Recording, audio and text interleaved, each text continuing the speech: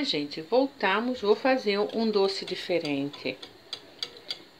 Eu solto 100 gramas de chocolate fondente.